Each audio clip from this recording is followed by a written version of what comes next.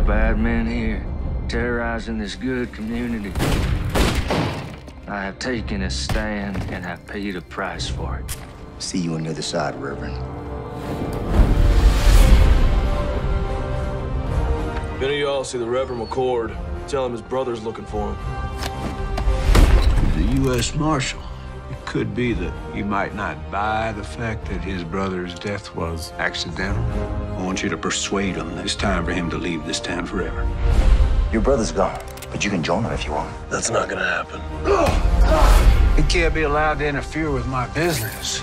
He's planning something big, Captain. There are rogue elements from the Confederacy. These men, the war isn't over. This town belongs to me, and that's just the start. It's time we take a stand.